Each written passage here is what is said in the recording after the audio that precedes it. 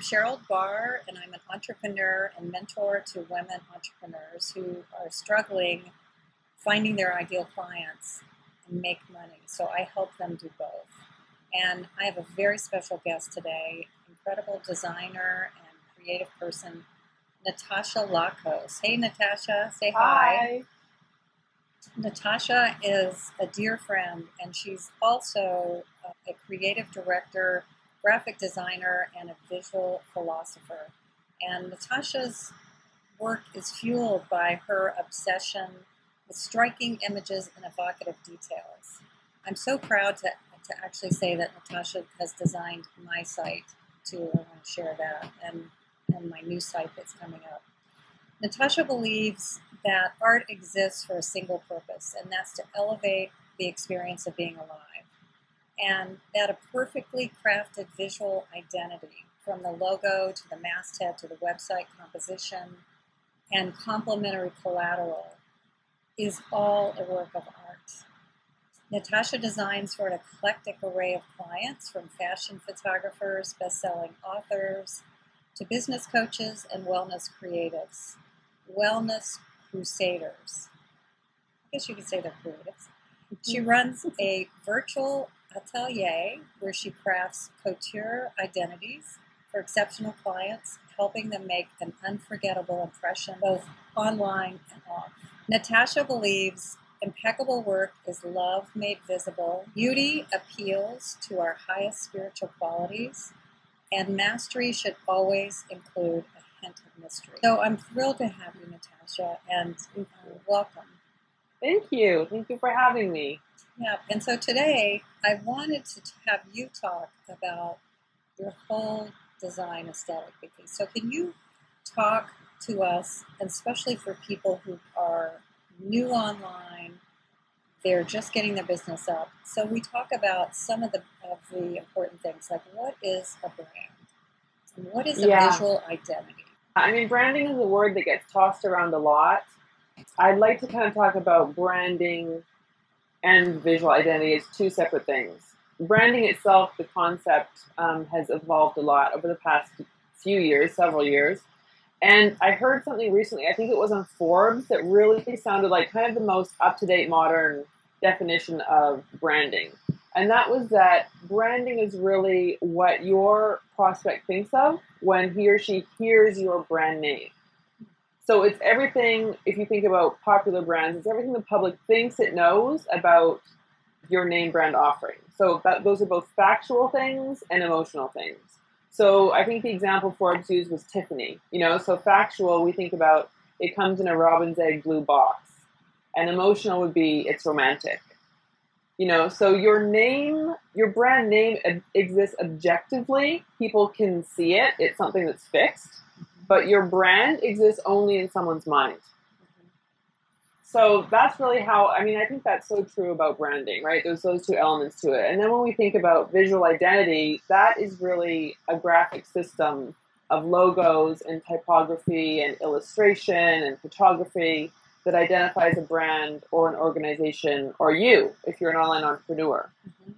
And so this includes, you know, your website, your social media platforms, your business cards, your brochures, your media kit, the branding of the materials that you would use at a workshop or a live event. It's really anything visual that people come into contact with. As you were mentioning the different brands and the experience, you know, it's the experience that we almost are buying many times. And Yeah. when you think about Virgin Airlines and, you know, the whole experience of that brand. That, Yeah, exactly. It's something that people can connect to. So, how does someone stand out in a crowded marketplace? I mean, this seems to be the million dollar question. Yeah. And the short answer, it's not an easy answer, but the short answer is by being themselves, right? You stand out by being yourself, but by translating who you are and what your unique gift is. Because the truth is, there's no one else on the planet like you or like me or like the person who's watching this. There may be people who offer the same service or the same product, but no one can offer it like you can. No one has your unique viewpoint or creative expression. So the only way to stand out is to harness that and to express it. So, I mean, I say it, it sounds simple, and in a way it is simple, but it's scary. And I think that's why people are, you know, confused about how do we stand out and there's so much competition. And it's like, there's so much competition and at the same time there's no competition, right? Because no one's truly competing with you. The aspect that makes it difficult is that it's scary. But the people who everyone admires, you know, the people who clients will come to me saying, Oh, I love this person or I love this person, they're the people who I think have really been courageous enough to do that to kind of like put their stake in the ground and say what they stand for and express that. Like the more specific you can be and the more you can really stand for what your unique viewpoint truly is, the more magnetic your brand will be. Mm-hmm. And the more those people will find you. Uh, I love Seth Godin always writes about worldview, and that's what it is. What is your worldview? Right. And those people with that worldview can find you. It's exactly. like a little beacon that you're saying, Yes. I believe in this. This is who I am. Yeah. And like they'll come and find you. Yeah, the lighthouse. You know, as new entrepreneurs, it's there's a lot to do in the beginning, and so Yes. there's not a lot of cash usually because you're trying to make it, um, you know, make it work. So for Mhm. someone who's new and they're just starting online, and maybe they can't even afford to do or hire someone to do a website, what are some of the things? You know, how can they create a magnetic brand with what they have? Any any tips? I mean, this might be interesting coming from a designer, but I would actually say in the beginning, if you can't afford to hire a designer or work with a web designer, I would say invest in photography and copywriting, actually above design. And I don't mean invest as in hire someone, I mean pay attention to these things, to these elements, spend time on these. So get great photos. If you can't hire a photographer, I would just say, you know, use natural light. Have photos on your website of you looking into the camera, looking at the audience, at the viewer, and making that connection. I feel like when you're trying to do the most with the least, it's really important to do that. Um, you know, I see a lot of people using these kind of abstract, vague, they might be very artistic and beautiful images, but they're just not very strong in making that connection with the viewer. Mm-hmm. So I would say the second thing is to have a killer bio, a killer about page. So the about page is the second most viewed page on your site. Um, so you really want to take this opportunity to explain who you are and why you're passionate about what you're doing. You know, the, the books start with why, I think it is. Yes. You know, talk about that, how you can help people. Um, I think it's really important to invest your time and effort in that area. And then for the design, I would just say, you know, keep it simple and sophisticated. You know, don't try and do too much. Don't let the design distract or detract from your message. Let it take a back seat to photography and copy. Let it support your message and your work. You know, you can, beautiful design can be accomplished with a black and white palette or with one typeface. You know, so it's not about so much about the design elements and being, you know, snazzy with the visuals in the beginning. I think making sure that your message is clear and that that comes across and that people get a real picture for who you are is most important. Yeah, and I do agree with you. The photos are so important so that you look warm and approachable, whatever that is Yeah. to you, because that's, you know, you know, we don't know you, so we want to know, like, and trust you. Yeah. So the more your photos can portray that, the, the better. Yeah. What are the building blocks of this online visual identity? Well, I mean, to sum it up, I mean, the nitty gritties of it are the design elements, which are things like your color scheme, your type family, the graphic treatment of your site. So, is it bold? Is it soft? Is it modern? Is it retro? Um, and then photography and copy, which we've already touched on. But I would say before all that comes, you know, knowing your why, knowing what you're passionate about, because then you can let that shine through with the copy and the photography and the design elements. And another thing I think that's really important for your identity is, you know, what is your role? So when you think about what you do in whatever field you're in, and this will really help separate you, you know, what is your role? Are you a change agent? Are you a provocateur? Are you a teacher? Are you a sage? Are you an artist? I really think that determining that specific angle and what you stand for, your viewpoint, once you have that, all the other stuff, the design elements, the color, the type family, they kind of all fall into place because they're kind of all looking up towards that kind of like the top of the triangle, you know? They're looking up to that and that kind of answers all the questions for you or for a designer. Mm-hmm. The building blocks can be the design elements, but I think they all take their cue from your viewpoint. So I would say that's kind of the most important thing. And then later, later you'll find that design decisions um, you can make them so much easier, you know, and you won't be kind of going in those circles, like not not quite being able to put your finger on what's not right about the design. Yeah, and I think this is what you're talking about today. I just can remember struggling with this the most. You know, like who am I? What do I stand for? When I was brand new, and even mm. now it's shifted, and I really want to be clear about what really feels authentic to me because I think it's layers. I just remember in the beginning I was afraid to be online, you know, when mm-hmm. I first went out there because I'm a person behind the scenes, backseat PR person. Right. That's where I came from. I always was pushing people like you forefront. So I think, and I see a lot of that where, where everyone's really nervous about stand, you know, showing up fully, mm-hmm. being mm-hmm. online. So I think it's a it's a process, but the faster you answer these questions Natasha's talking about, um, when you're ready to create your website, the better we will understand who it is and what you do. Yeah, and you touched on something really important. I think is like knowing that it will change. Yeah. You know, that it, it completely makes sense. So don't get so stuck up on it and start future tripping about you know just embrace where you are now, think about where you're going, and work from there, and know that it will change. It's inevitable. Totally. This is my fourth website I've had. I think in, mm-hmm.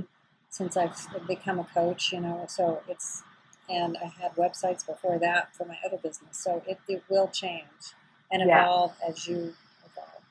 Yeah. So you have an amazing clientele. You know, you you are working with um, a lot of authors a lot of speakers, and these are on the national circuit. Um, uh, some of them are Oprah's um, thought leaders of the next generation. So mm-hmm. they might have, well, I know they do. They have different websites, different platforms, is what we call it. The, the word platform is really your online presence. So mm-hmm. tell us, you know, when you've got social media and you've got like Tumblr and Pinterest and Instagram and Twitter and Facebook and what else? There's probably more.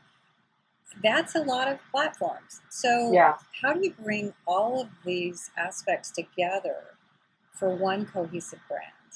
You know, brand identity. Yeah. Well, you really want to keep the look and feel of your brand consistent.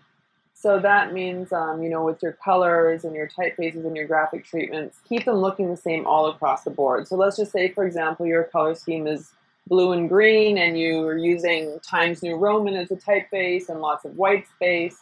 You want to incorporate all those elements in every platform you're on.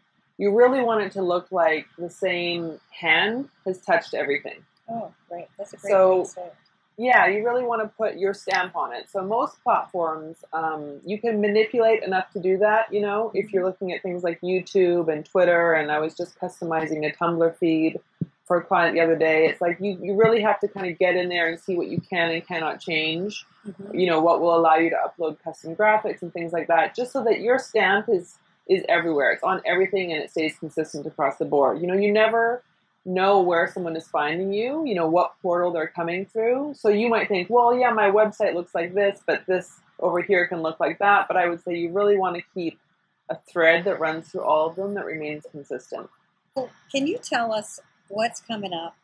I know you're yeah. working on some some special things for um, people who want more information to figure out how to how can they do it with you know take some of these concepts that you've talked about and do it for themselves. So tell us what's coming up. Well, as you know, uh, my business has grown to the point where I can't work with as many people as I would love to. Um, so what I'm doing is I'm creating a step-by-step guide, kind of a fill-in-the-blanks playbook that will serve as a tool that you can use to take yourself through the identity process as if you're working with me side by side, kind of in a one-on-one um, situation that I do with my clients. So this is something that you'll be able to use whether you're building a website on your own, or you're thinking about hiring a designer, or you're um, already working with one. Um, it really breaks my heart when I see entrepreneurs who have so much to give struggling to express themselves online. I can go through kind of what that will include because I think that might be helpful yeah, to people. Share share a little bit more about it, and then we'll tell them how they can uh, get on your list to be one of the first to know when it's coming out this spring. Great. Yeah, I mean, I think what I hear from a lot of people is that whether they're, you know, someone new just starting out or they're someone who's had some success and is looking to rebrand themselves, Mhm. they don't know where to start. So a lot of that is just kind of um, stepping out of that overwhelm and confusion and figuring that out. I can help with that for sure. And then it's the, you know, the building blocks, the process of crafting your visual identity, um, how to infuse your personality into your website, how to create a focused visual look, that consistency that we were talking about across all your platforms. Um, DIY design tips, things like how to pick your typefaces, your fonts, how to pick a color scheme. Um, I really want to go into logo design and talk about, you know, how to determine if you actually need a logo.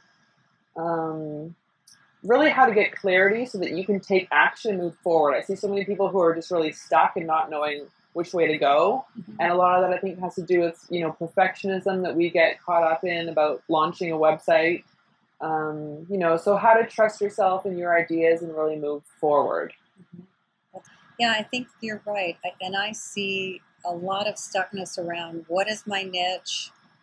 I don't have a website, or I need to get my website up. Um, all of this, it's fear.